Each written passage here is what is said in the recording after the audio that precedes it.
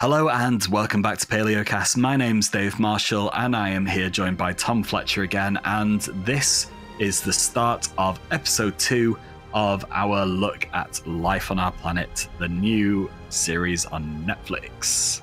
Pleasure to join you again for episode two, one of the best. Oh, definitely in terms of uh, my interests and yes, your interests being too. crunchy and squishy things.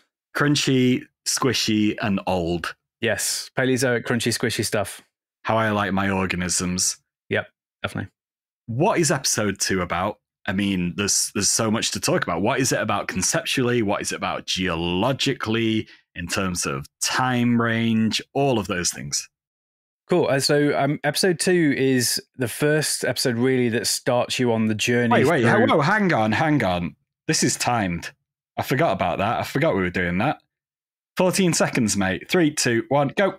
Oh god. Okay. Uh, so episode two is the the first episode that really starts you on a linear journey from oldest to youngest through geological time. So we start with really ancient stuff, the the algae, the cyanobacteria, and then we move on to uh, the rest of the Paleozoic, which is the the evolution of fishes after nautiloids and that kind of thing. And then we move on to the Devonian mass extinction right at the end.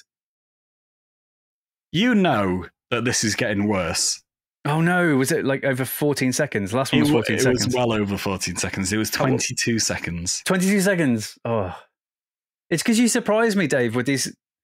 I can't do it. My brain doesn't work that quickly. not fair. Not fair. I did not do episode two justice just there. Mm. not by a long shot. Okay, well, okay, okay, okay, okay. Uh, Do it properly then. All right. Um, so I, I will try and keep it short though. Um, so episode two is, is uh, rather than episode one, where it was kind of a, a highlight of the what you're going to see in the series and um, a sort of explanation of the rules of life. Episode two starts you on that journey from oldest to, to youngest. So we start with some of the most primitive organisms, these single cell uh, blue green algae, and then we move through the Cambrian, the Ordovician, Silurian to the Devonian, where we have a, a the mass extinction. Um, and there's a mass extinction in the Ordovician as well. Spoiler alert! And yeah, we we move through the animals that lived in those time periods, and it's it's glorious. It's all the marine life that you love.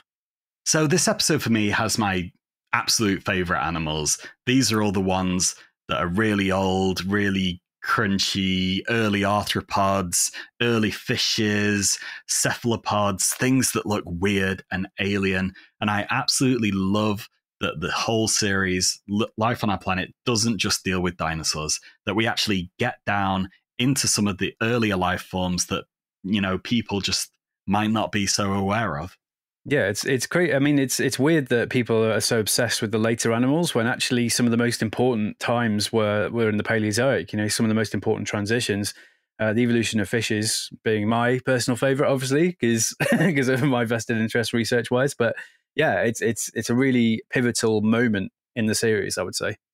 and yeah, some of the events that happened this long ago, for instance, the Cambrian explosion, the Great Ordovician biodiversification event, these are all formative, absolutely crucial stories to what happened to life on Earth. It wouldn't be the same if the events that are depicted at this time didn't happen.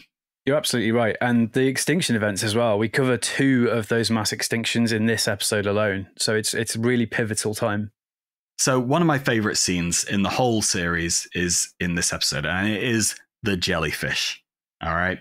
Teeny, teeny, tiny jellyfish. I have never felt such tension before for something so small and essentially brainless. And just think about the reproduction of jellyfish. Have you ever seen jellyfish stacked up in a tower? That's just one part of their life cycle. When you see a jellyfish swimming in the ocean, that's that's just a tiny part of its life.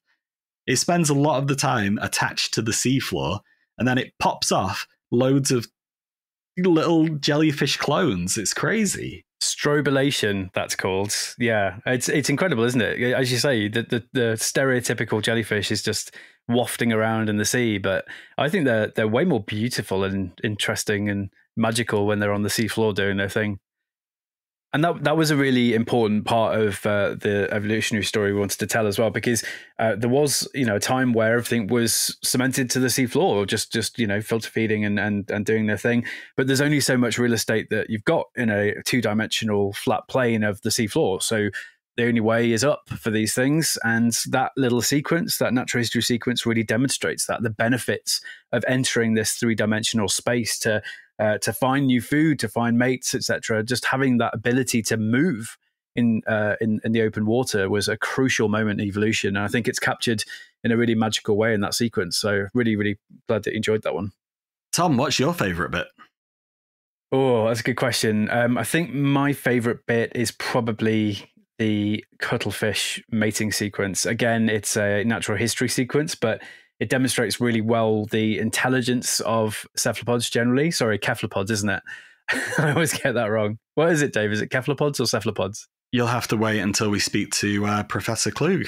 Okay, okay. So cephalopods are really intelligent, and I think you know the the cuttlefish sequence really showcases that. And we've got a uh, I won't give anything away, but some quite intricate behavior going on and uh, yeah, it's quite heavy in in cephalopods this episode because they're such an important group and such an ancient group. So I think that's probably my favorite. Okay, well, let's get into some more details of the cephalopods. I like to say, uh, is, with... is it definitely cephalopods, Dave? Are you sure? Y- you can use either. It doesn't really matter, really, does is, it? Usually, you're the person who says, "Oh, I can't believe you said Ordovician that way. It's this way." You're a real, real stickler. You're the you're the worst person in the world for correcting the way I say things. I I can't help it. I, I read things, Dave. You know, and sometimes I mispronounce them. You know, you shouldn't jump on me like you do. I do, but not in the podcast. Okay, right now, you can say it however you want. You can say Ordovician, and okay. I won't be bothered. You could even say niche instead of niche, and I oh, really? will just it'll just flow over me. No, I, well, I don't. I don't believe you. I think behind uh, behind the microphone, if the webcam was on, I'd see you scowling and shedding a tear. Maybe, but we'll, we'll move past it. we we will. Just don't say Dunkley Osteus. Okay, I can't. Yes. I can't deal with that. No, no, fine. So, for episode two, we're going to be talking to Professor Christian Klug from the University of Zurich. And we're also going to be talking to Ed Dyer, who's a researcher at Silverback. And then also, uh, Tom, you'll be back to talk about Dunkleosteus, correct? It will be my pleasure. Cool animal. Right. I'll see you there soon.